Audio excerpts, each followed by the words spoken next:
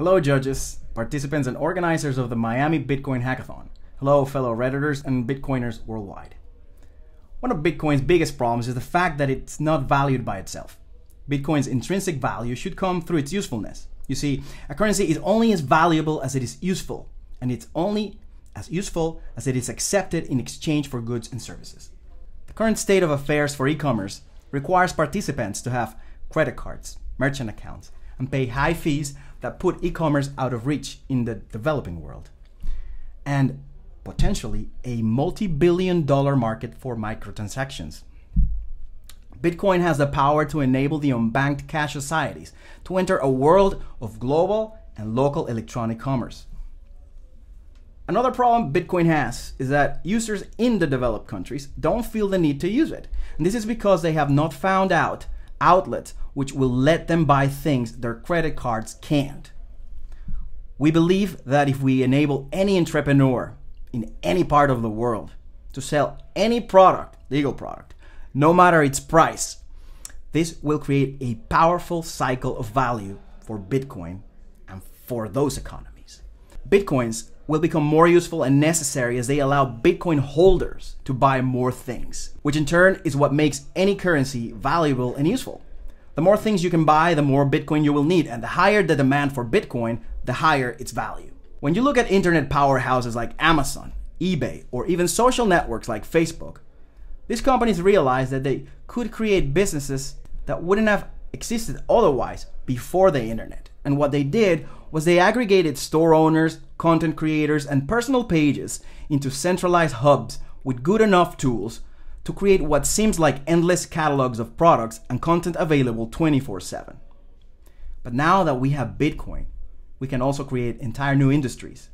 Industries that have the potential to leave the likes of Amazon, eBay, and Facebook right on its tracks. What happens when you can finally decentralize the ownership of content and e commerce in the world? What if we could have all those WordPress blogs connected to a marketplace that no central entity owns? What if we could have social network profiles that belong to us without censorship, all connected in a marketplace fashion? What if we could have all our online stores all together to achieve the same infinite catalog effect that Amazon and eBay have? And what if those stores would not suffer from the limitations imposed by our old controlling, limited, and inefficient banking systems? How do we get there? Well, some of us have heard Andreas Antonopoulos talk about the other 6 billion unbanked and how they can be empowered by Bitcoin. The truth is, unless you make it easy for those 6 billion to buy or sell things for Bitcoin, Bitcoin isn't going anywhere. We have built a proof of concept called Seller Trade.